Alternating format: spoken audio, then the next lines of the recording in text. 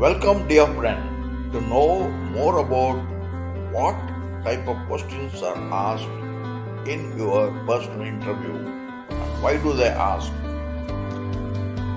To know more and to get proper guidance, why don't you call the number given in this slide?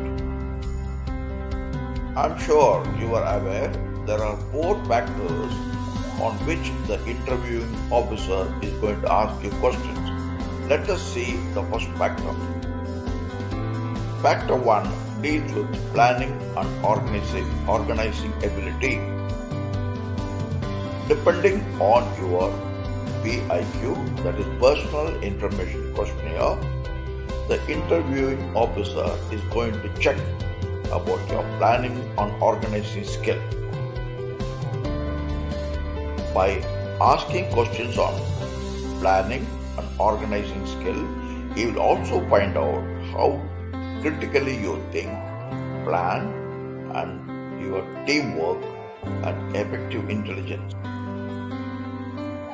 The third part of this particular factor is organizing as and the fourth part is going to be power of expression he will find out by asking simple question. Here is the question about your understanding of India and various articles. He might ask, okay, tell me what you all know about Article 370. He wants to check your clarity of thought and power of expression. To learn more and get proper guidance, do call us on the given number and join us for a 15 days SSB FSB orientation course. Thank you. All the best, Jai Hind.